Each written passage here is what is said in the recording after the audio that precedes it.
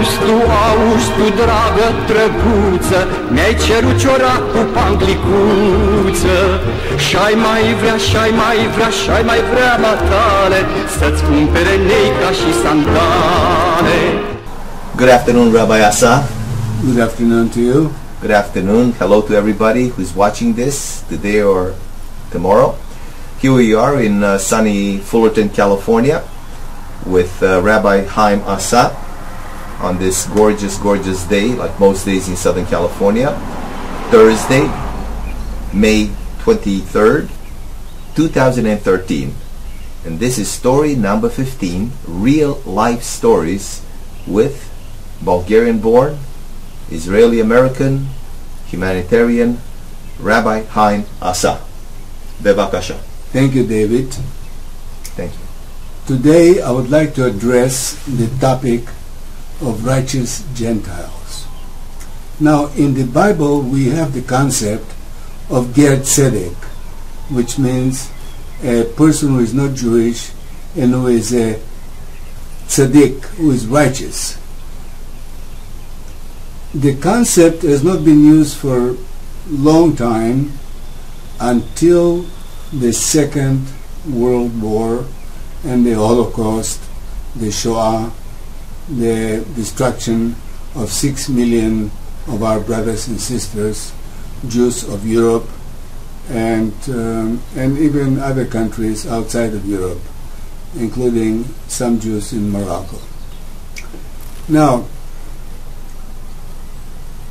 the title of righteous Gentile is bestowed by the Yad Vashem, which is the Holocaust authority in Jerusalem, Israel, and they are the only ones that can grant that particular title, that great honor called becoming or being a righteous Gentile. Which means a non-Jew who saved or helped save a Jewish life during, during the Holocaust during the Holocaust. at the risk of their own lives. Their In own other lives. words, just because I, I paid somebody to take a Jew out of uh, of the uh, Krakow ghetto uh, does not make him right, righteous Gentile. Right, Someone who actually put his family and his own life at risk for no actual financial reward. Correct. Uh, the, the, the penalty for hiding a Jew uh, in any country uh, of Europe during that period uh, carried death sentence, which means that the person who took a family or a person, one Jewish person, and put them in their basement or in their attic, and uh, every day brought them food, and uh, uh, every day was uh, uh, scared to death because the police, the Gestapo, the SS might be coming in. This is a righteous, uh, truly a, A righteous, righteous- Gentile. But uh, you mentioned a Jewish, but you actually mentioned a Christian person or a non-Jewish person. oh yes, Yes, because I think there was a misunderstanding. Oh, I'm sorry. If a Jew had saved a Jew, this is no righteous Gentile. It's the the thing that It's Jews a- do amongst themselves. hopefully, You know? Yeah. hopefully. Yeah. Sometimes during the ghetto days it wasn't so, but Yeah. Hopefully These uh, will be is. some other sad stories that we have to talk about. Yeah. Jews that Now- did not do the right thing. Uh, So these are Christians that uh, were outstanding moral human beings that understood that no life should be destroyed, whether Jewish, Christian, or otherwise, and they risked their own lives to save a child, uh, um, uh, an Yeah. adult, an older person, and so forth. when we went to the classroom at Katella High School uh, a couple of days ago, they were showing the movie Schindler's List. That's right. Schindler, Oskar Schindler, who was of course Christian, who was a member of the Nazi Party, believe it or not, and at least, you know, on paper he was a member of the Nazi Party. He was given the honor of righteous Gentile uh, by Yad Vashem uh, around 1967, 68, or something like that. By the way, uh, for the rest of his life, Oskar Schindler was supported by the people that he had saved 20 years before that from the gas chambers by pretending that he needed uh, labor. So it, it is a fact, and forgive me for asking perhaps a silly question, but even for the benefit of our worldwide audience, is it is it established clearly that it was his moral reasoning to create the job scenario in front of the Nazis for his business in order to save the Jews and not and not the other way around. Without a doubt, I just officiated at the funeral of Leon Leyson, Who was? member of our temple, who was Bet the uh, Temple Bet Tikvah, In Fullerton, Fullerton. California, Yeah.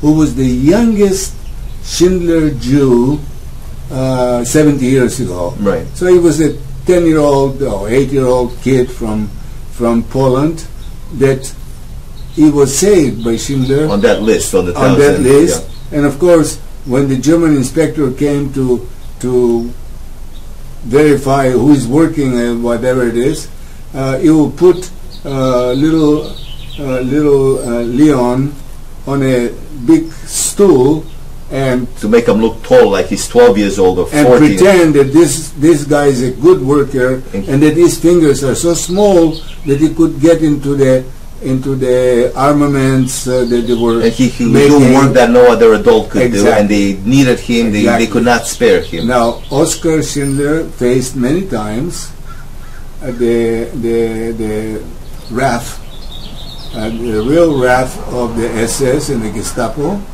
and every time he was able to, he was arrested twice by the Gestapo, and twice he was able to prove that his industry is defense industry, building uh, shells for the Critical. for the- critical for the defense or for the offense of the German army, which was total nonsense because he would buy some shells from a- other place with his own money and put him in the with shop. his own money, and put them in the shop and get, deliver them, and most of them, according to sources later on, were defective Right. uh, shells. So basically, the people that he was Yeah. employing, quote unquote, did not have any expertise, and a lot of most of them did not even know what to do. But he created the opportunity to create a scenario where the Nazis were tricked into thinking that they were they were priceless uh, when, when he, workers. when he moved from from Krakow Poland, to yeah to the uh,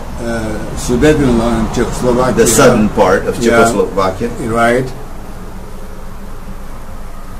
He loaded the women of his uh, list into one train, and that train, by mistake, was sent to Auschwitz. And they were in Auschwitz, ready to be gassed, ready to be killed, and he intervened and said, "You're taking my best workers because the women are able to do The fingers and the details. Whatever. So were they saved? Yes. But was this in the book? Is this uh, This is in the book. This is also recorded in the book because I was this in the movie? I don't recall this part, this particular part in the Uh, movie. yes, there It was a short passage where the train, by mistake, Went to Auschwitz. And um, I just finished rereading the book for Right. probably the tenth time, and um, uh, uh, um, Michael Keneally was not a great writer, but he wrote But Michael Keneally was connected to, uh, he is the author. but he's connect. He knew personally uh, uh, Schindler.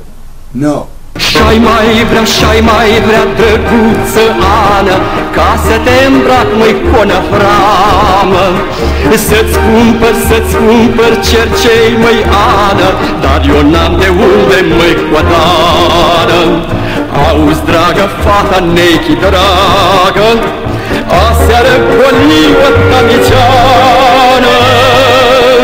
Și acum nu-ți parale Să-ți cumpăr sandale Buzunarele sunt goale da. Mai avui drăguță Încă o băncuță Și băui în colituță da